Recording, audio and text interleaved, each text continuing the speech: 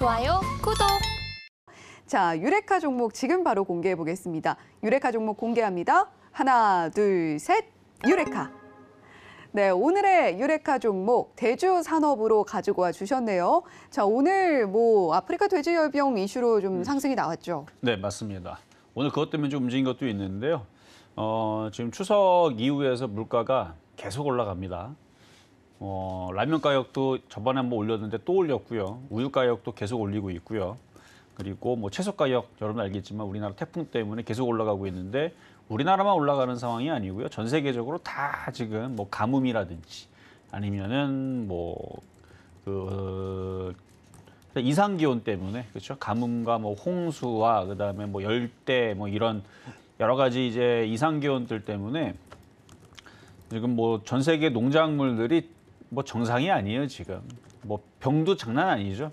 그러니까 원래 그 지역에 맞게 그 온도가 있을 텐데 그거가 아닐 때에서는 병충해에 많이 시달리죠. 그리고 다른 나라들 이제 기사를 보면은 사료가 비싸가지고 어, 어차피 이, 이렇게 농사를 지으나 저렇게 농사를 지으나 가뭄으로 다 죽을 건데 뭐하러 그 농약 치고 저희 뭐야 비료 주냐고 안 준대요. 그러니까 못 사는 나라들은 아예 그냥 비료 사료를 어차피 비싸니까 배보다 배꼽이 더 크니까 어차피 잘 농사 잘 지는 그러니까 어느 정도 해, 해놔도 태풍으로 가뭄으로 뭐 홍수로 다 사라지니까 어, 다른 나라들은 그냥 비싸서 사료도 안, 비료를 안 쓴답니다. 사료가 아니고 비료를 안 쓴답니다. 그래서 지금 전 세계 이런 이제 상황이다 보니까 어, 수확량들이 전 세계적으로 이제 급감을 하죠. 그러면은 계속 가격은 올라갈 거고 그러면은 이제 비료 가격도 올라가고 어, 농작물도 계속 올라갈 거고. 근데 얘는 이제 사료주의인데요.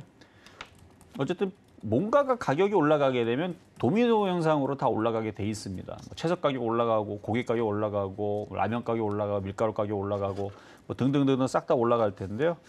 그래서 지금 대주 산업을 얘기하는 것도 뭐 일단은 아프리카 돼지열병 오늘 우리나라 돼지 농장 그 강원도 춘천에서 뭐 발생을 했다 해가지고 일부 사료 관련주들이 이제 급등을 하는 뭐 그런 상황이 기사가 나와서 이제 움직인 것도 있는데 일단 아까 말씀드렸듯이 미국과 유럽이 옥수수 수확량이 급감을 했답니다. 근데 옥수수 수확량이 급감을 하면 일단 사료를 만드는 데 있어서 옥수수를 많이 섞거든요. 많이 섞는 이유는 싸기 때문에.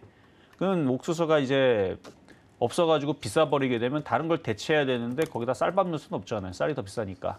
그러니까 지금 옥수수가 제일 싸기 때문에 그리고 이것도 그 양도 많고 어쨌든 옥수수가 제일 싸서 했는데 이것도 지금 가격이 올라가고 있는 상황이고 수확량 급감에 따르면 아마 사료 가격도 올라갈 거고 그러면 사료 가격이 올라가게 되면 돼지고기 가격도 당연히 올라갈 거고 그 기사는 이미 많이 나와 있는 상황인데 이게 도대체 줄어들 생각이 올해는 없을 것 같아요. 여러분 아무리 봐도 그럴 것 같죠.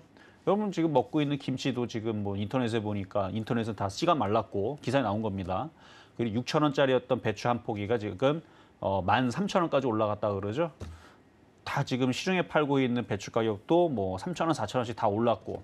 근데 이게 시작이에요. 계속 올라갈 겁니다. 올라가고 내년에 안 올라갈 것 같아요. 올해 올해 벌써 농사 전 세계적으로 다 망쳤습니다. 거의 대부분 다 나라들이 다 망쳤대요.